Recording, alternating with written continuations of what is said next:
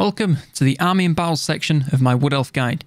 In this section, we'll be going over the entire Wood Elf roster and covering all the units' pros and cons, as well as compositions and formations for battle.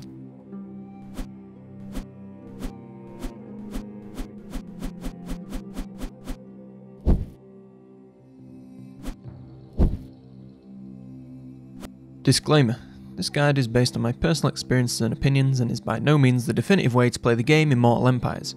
If you have a different strategy or want to add something to mine, please leave a comment down below. The Wood Elf roster is famous for one reason only ranged infantry. Looking at the roster, it's easy to see why. They really do have some of the best units in the game in that category, with everything from the range to the damage being absolutely top notch. That doesn't mean that they are immune to being outranged, however, as with no access to artillery means factions like the Empire or the Dwarves will be able to rain down fire whilst you're still moving into range. It doesn't really happen that often, but when it does, you really feel the burn. On the bright side, the majority of units in the roster are fast and agile so can maneuver and position reasonably quickly and often in stealth, meaning even if the enemy does have the range, they can't hit what they can't see. On the topic of not being able to see, the faction is, unsurprisingly, better when they are in the woods, as all units receive buffs to defense and accuracy whilst you're in forest, meaning if you can fight on your own terms, you'll have a significant advantage. The defensive bonuses are always welcome, as despite starting off pretty strong, they never really get a tough front line, Yes, they get more elite units that do more damage, but they always wear less and less armor, and even with resistances, they aren't as tough as units of the same tier from other factions. Another thing unique about the faction is the fact that depending on the lord leading the army, different units become more and less viable, meaning you can actually have some variety in the types of armies you're building rather than just spamming the same thing every single time. Unfortunately, this does mean that some units are only viable with those specific lords, which means the rest of the time they do end up feeling a little bit useless, which is never what you want for any unit. Now that that's out of the way, let's get into the roster. Kicking off the melee infantry, we have the Eternal Guard, who are a fairly standard spears unit for the early game. Since they are spears, they get slightly better anti-large damage and a charge defense versus large, but aside from that, they are a very standard unit. They have decent defense and armor for their stage in the game, and, as is to be expected, have damage that you could call slightly lacking. So you'll of course want to send some missiles, magic and monsters their way if you want them to win.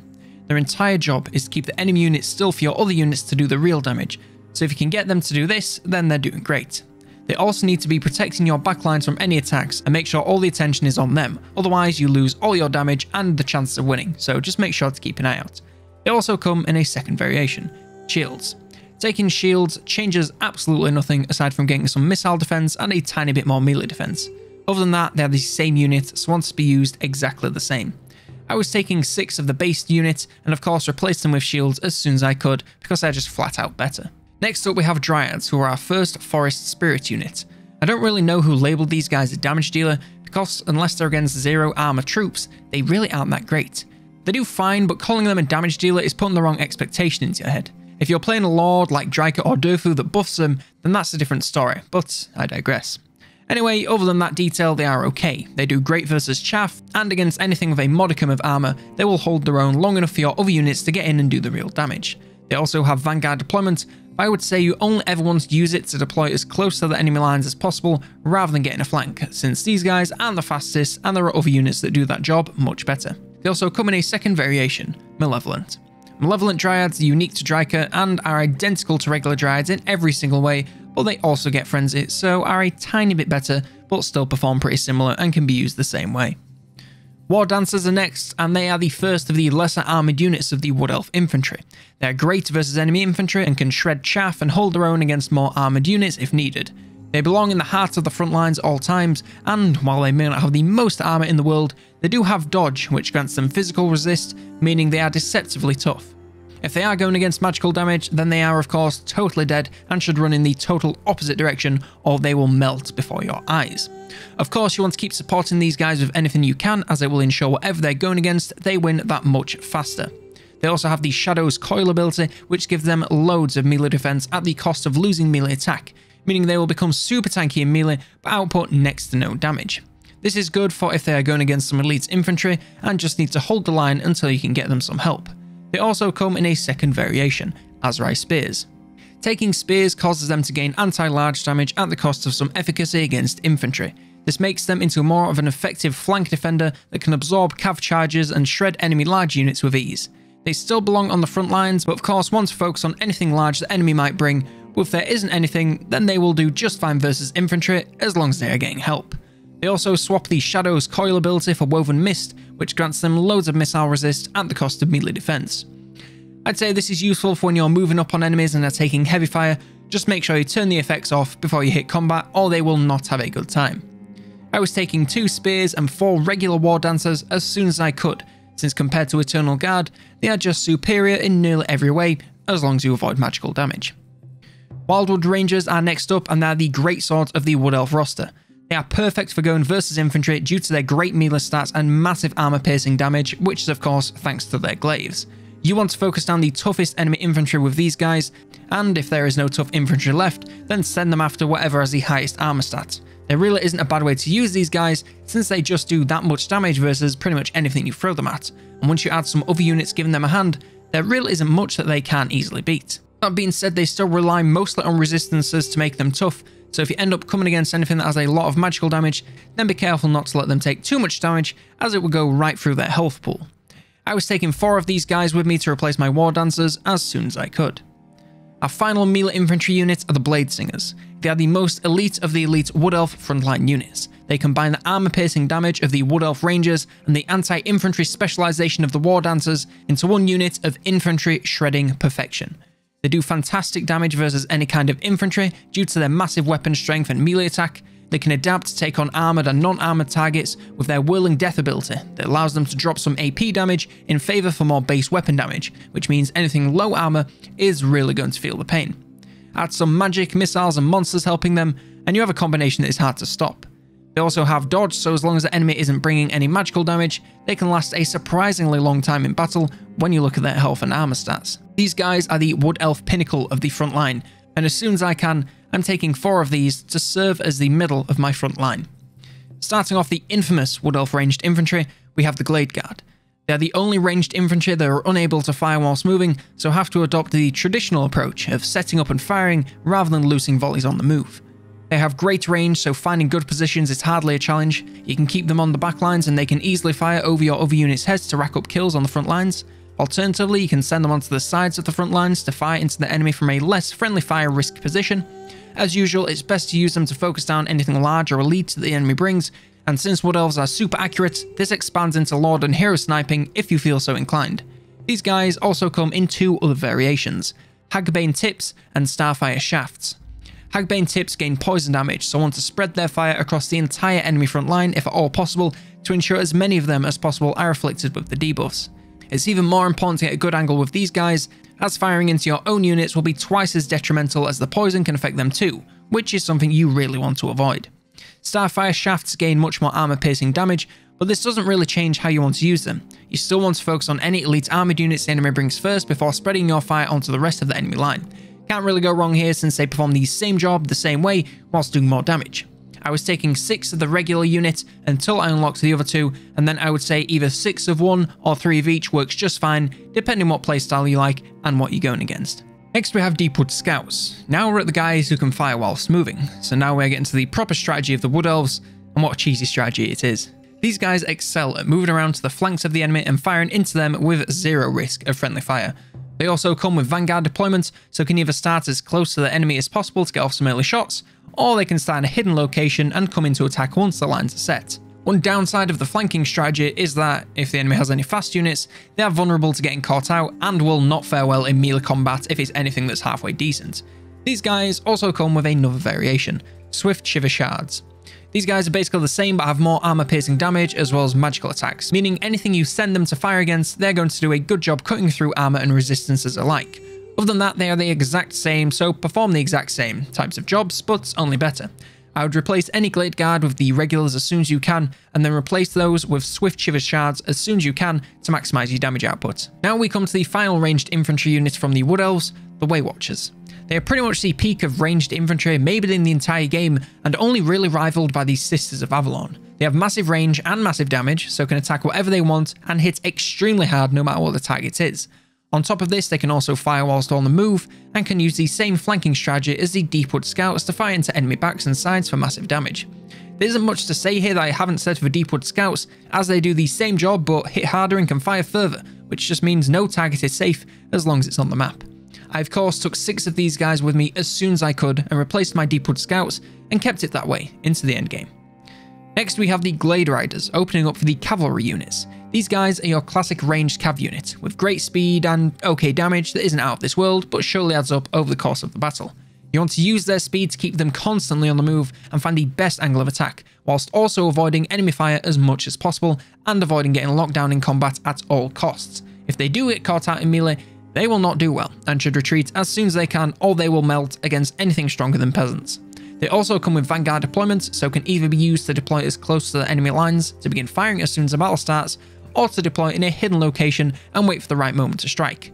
These guys also have two other variations, Hagbane tips and spears. Hagbane tips are literally the exact same unit but gain poison missiles. This means they want to spread their damage as much as possible to afflict as many enemies as possible with the poison debuffs. They also want to be more careful to only fire into enemy backs rather than over your own troops, or they risk poisoning your own guys too.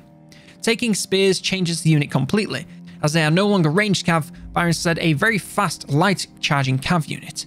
They keep the fantastic speed so can get in and out before the enemy can react, and can kite almost any enemy unit for as long as they want. In actual combat, they are a touch weak, so to focus on weak enemy units, like ranged infantry and artillery, to make sure they are entering a battle they can win.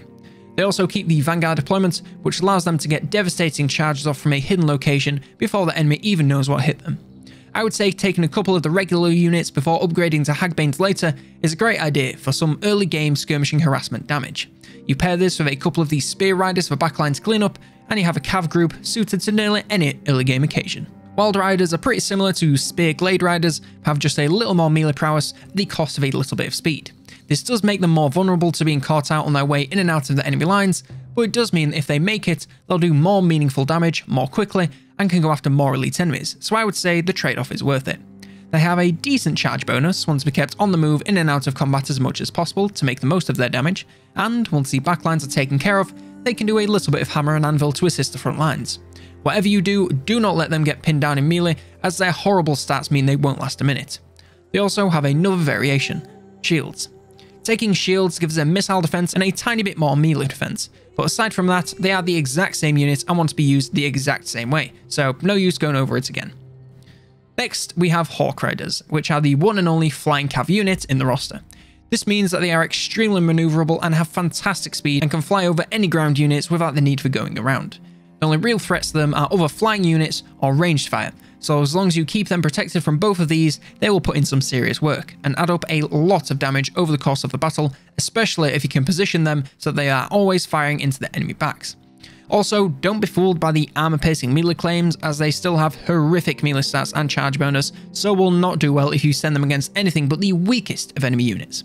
Only send them into fighting melee if they are out of ammo and have no choice. Anything else is just a massive waste of their time.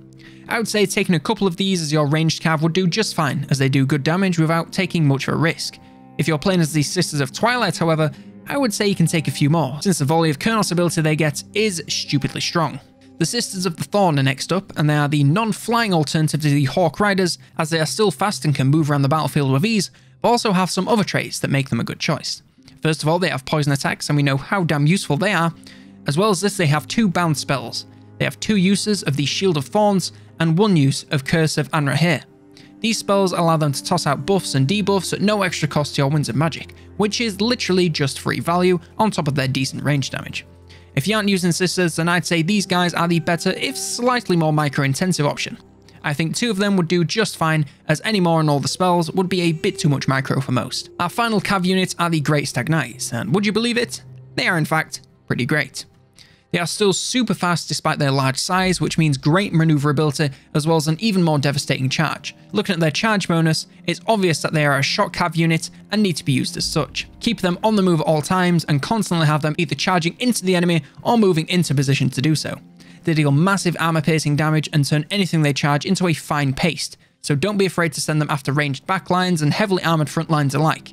They also come with Vanguard deployments, so can deploy in a hidden location and come in for a devastating charge when the lines are settled, and the enemy can do nothing to stop you. I think a couple of them are great in any composition, as long as you're sure you can manage the micro enough to get the most out of them. We now come to the final category for the Wood Elves, the monsters, starting with the Great Eagle.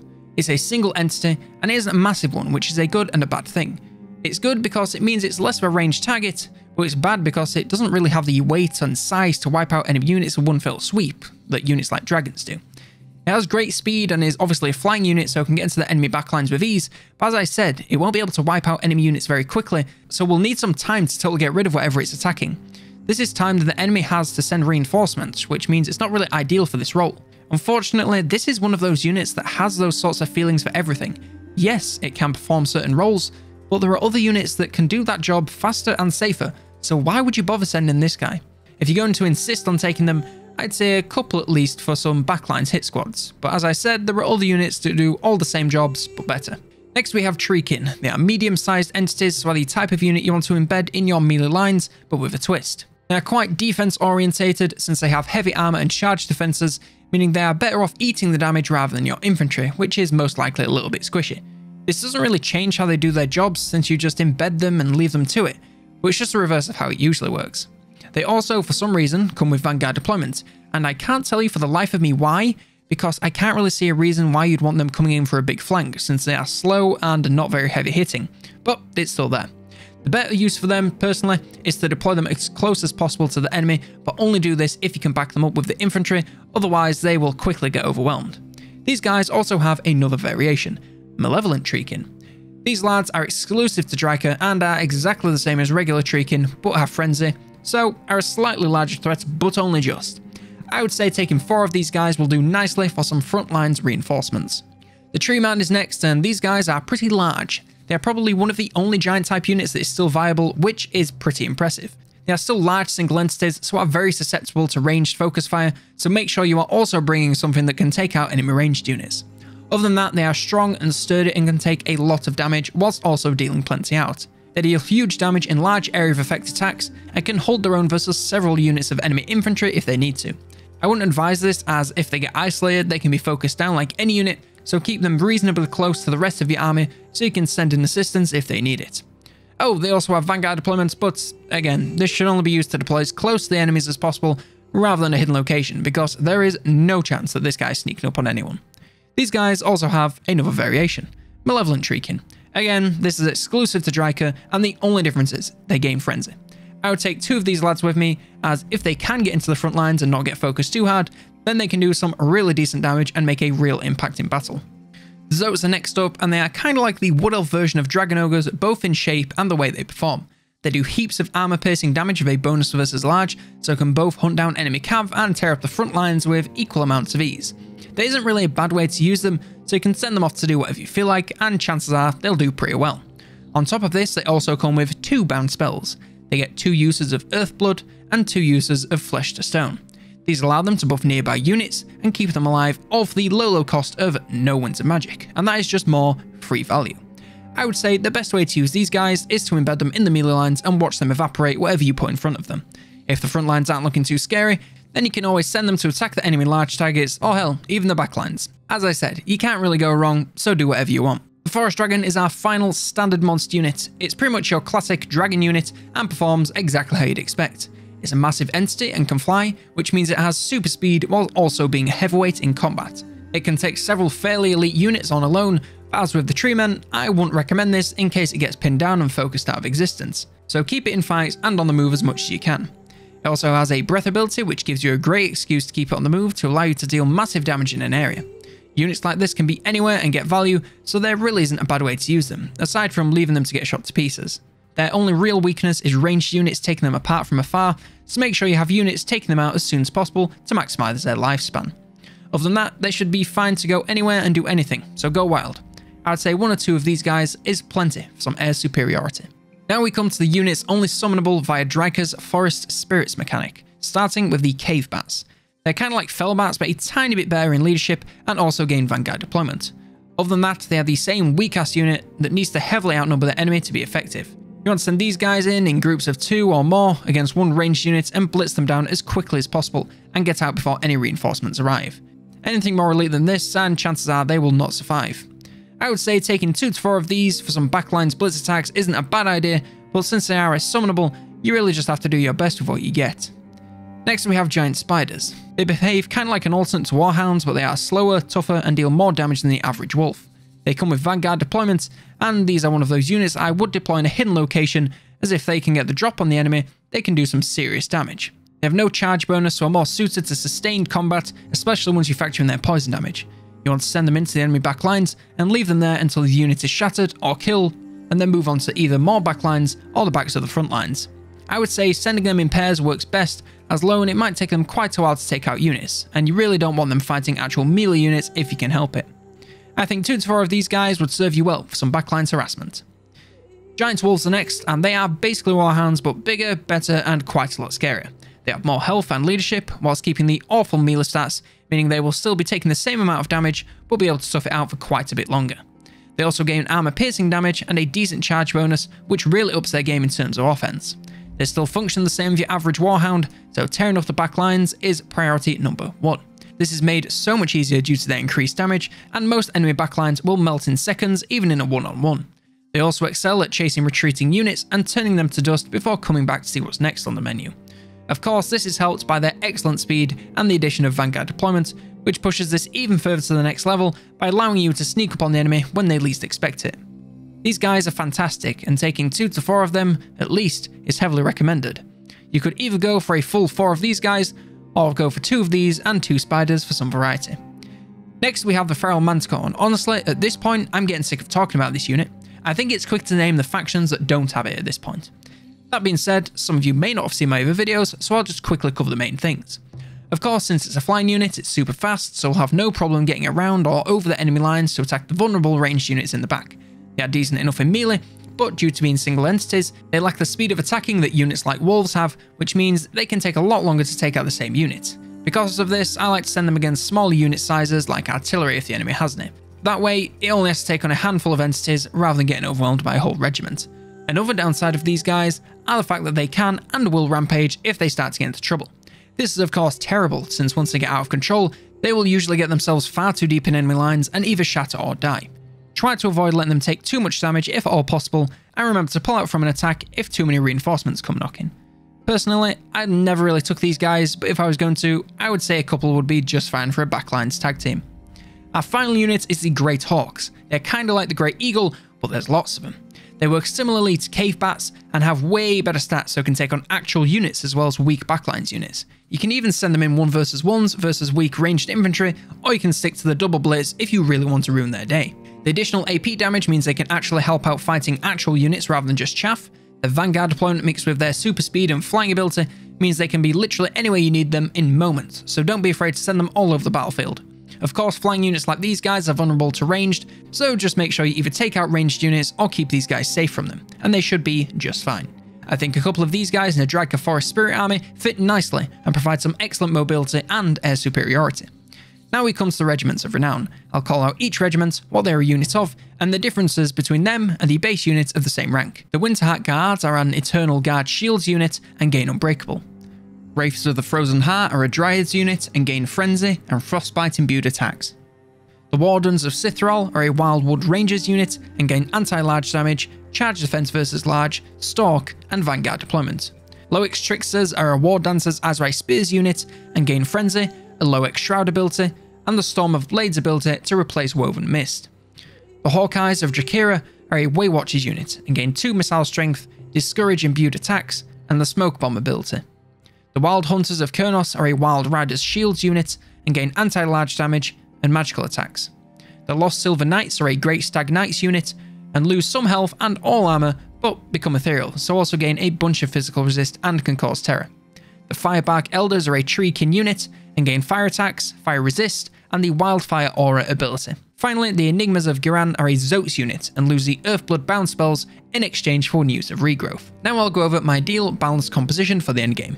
I lead my armies with Glade Lords on Dragon Mounts and a Spellsinger on an Eagle. This gains me a hybrid weapons lord with a powerful Dragon Mount, as well as some magic on an agile caster.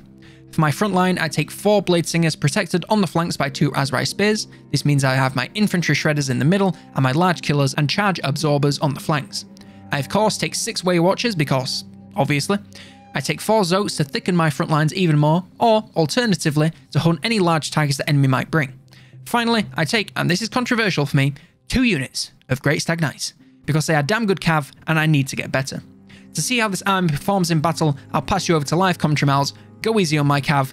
Take it away. Thanks for that, Miles. As you can see here, playing against Empire, you know, I thought about going against the Beastmen, but A, they are absolute garbage, and uh, B, the Empire is just kind of a balanced faction, so it generally just tells you how the army is going to perform against a variety of units. So, of course, first of all, my Way Watchers, they are propped up on this hill here, so they're obviously going to fire down a lot of hell onto this general of the Empire, and pretty much just everything in this general area. Uh, I do make one giant blunder in this uh, in this uh, battle, and it's forcing all my units into this little crevasse here. It is the Oak of Ages map, and uh, it's a little bit shittily laid out. I'm not going to lie to you. I probably should have sent three here and then three here to spread them out, so I kind of all end up getting stuck in a little ball. But that's okay. We still managed to pull through on this one. I'm also sending the Zoats in here to assist the uh, the old uh, range, uh, the old old range, the old meal infantry, and I'm sending my lord over here to do some fire breathing.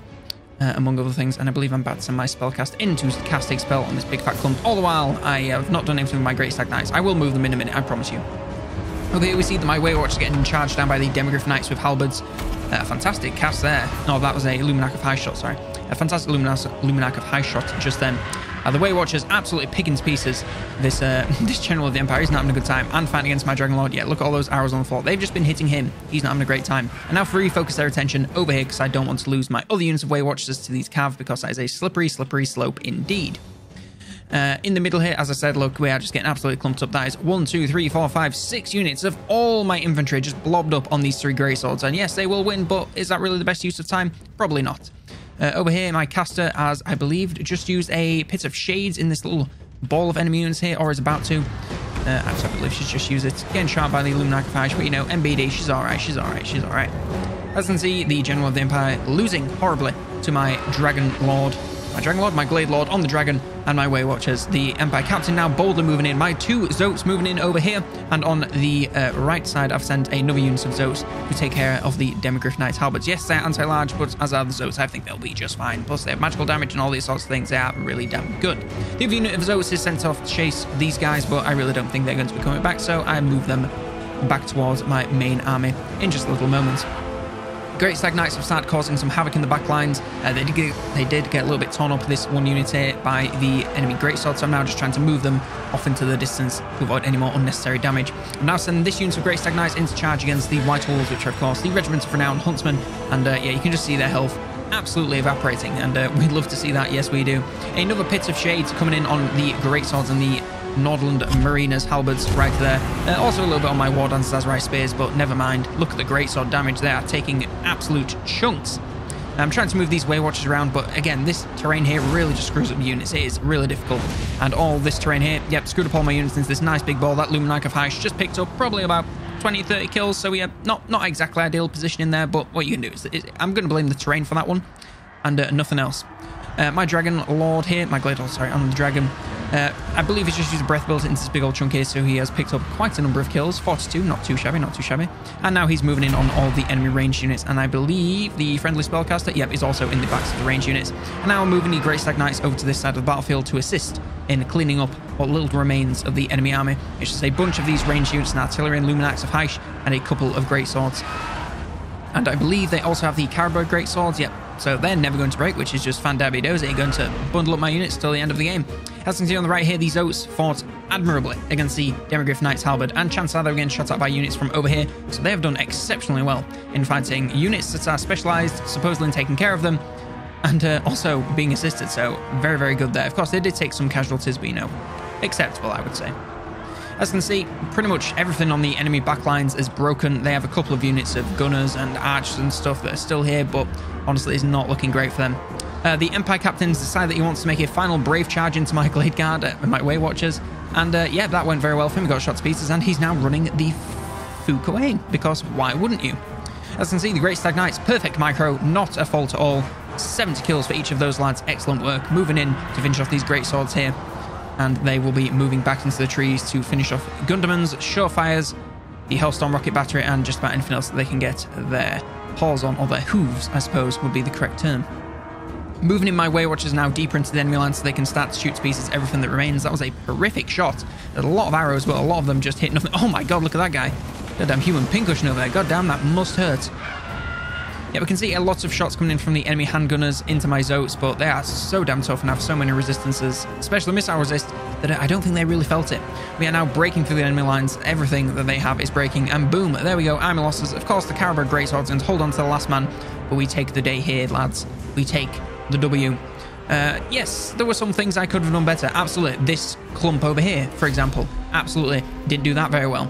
Uh, the Way Watchers all getting bundled here and having a massive shot on them didn't do that very well either. But apart from that, pretty well. And of course, you know, we got the W, which is all that really matters. Now, let's take a close look at the unit stats. So starting off with my lord, of course, he was using his breath abilities and also a bunch of ranged fire, and of course, immediately fighting on that dragon, because if you've got it, you may as well use it. 15,000 damage right there, but only 3,000 gold in damage value, so chances are he was attacking a lot of the ranged units like the handgunners and the archers, so definitely a bunch of kills and a bunch of damage dealt, but could have maybe tagged it a little bit, but three, three and a bit grand is uh, definitely nothing to scoff at. Uh, the spellsinger I went with Shadows, by the way, uh, did 13,000 damage and just under 90, uh, not just under, just over 1800 damage value. So definitely not too bad. It was those two pits of shades. I believe it was on great swords and her handgunners. They're in a nice big clump both times. So definitely lots of easy value there, as well as just some fighting in the back lines. As you can see on the front lines, there's not too many kills. 69 there, very nice, and 52 there. But aside from that, nothing too exciting. Again, they were all in that big clump. So yeah, 375 damage done because they were all in that clump. So the damage was spread evenly between, between quite a lot of these units. Uh, but that's not exactly surprising. As I said, I would manage that better uh, if if if uh, if I was not so crippled by the terrain. I'm going to blame it on the terrain and not on me at all. Moving on to the Way Watchers, you can see 9,000 damage, 7,500, 2,000, 3,000, 4,000, 6,000. Yep, these guys, when you aim them at correct things, you know, aim them at lords, aim them at enemy cav, aim them at large targets. If you're going against a faction that uses a lot of large targets, like the Beastmen, who are the natural enemies of the Wood Elves, as I mentioned, then they're going to have a very bad time because they can just get focused by all these missile units and they are doing massive magical and arm piercing damage. Nothing can stop them. It's a real pain in the ass. So yes, Way Watchers always get tons of value. No matter where you put them on the field, you can literally just pop them on skirmish mode, walk them into the enemies, and they'll get value. Unless they get charged down, but Fortunately, this time they did not because, you know, we could shoot the cav, which is a very gamer move right there. As you can see, uh, loads of value on my Great Stag Knights. 10,000 damage there and 10,000 damage there. So, yeah, I'm pretty pleased with my micro for one of the first times me having actual shot cav in one of my compositions. I'm pretty proud of myself. I'm going to, there we go, give myself a pat on the back, give myself a hand. I'm pretty pleased with that. So 99 kills there and 103 kills there. Of course, that was all on the back lines. There was a little bit of charging of some great swords and stuff, but definitely was focusing on those weaker, squishy units and also the artillery. But these guys, you can charge them into anything, and as long as you keep them on the move, they are gods. Our final units we have are these Zoats, so around 40 kills on average for each of those, which is definitely an admirable performance. 6,500 damage there, 3,000 damage there, 3,000 damage there, and 2 uh. No, that's not correct. Two point two thousand damage there. God, yes, can can tell I'm recording this in an afternoon because uh, I sure am. Anyway, yeah, so I assume that the 32 ones were the ones that took the most damage, and we're going against the Demigryph Knights, so that is how they got so much damage value, uh, but only so few kills. But the rest of these guys were in the middle of the front lines, were buffing with spells, were chasing off Cav, doing great work. Yes, very happy with that. Very versatile unit. Again, very like the Dragon Ogres, which are a fantastic unit, carried the Warriors of Chaos, and they could certainly carry your Wood Elf armies if you wanted them to. So yes, pretty pleased with that composition. Again, could have done some things better in battle, but I can live with this going on the internet. I can live with you all judging me. I'm ready for it, but please don't do it. Be very nice. Anyway, back to you, Miles. Thanks for that, Miles. That concludes this section of the guide on the Wood Elf armies. Next time, we'll cover the Lords and Heroes and what they can do for you both in the campaign and on the battlefield. Thanks for watching this section of my Wood Elf guide. If you want to check out the other parts, there's a link in the card and in the description for a playlist to the series.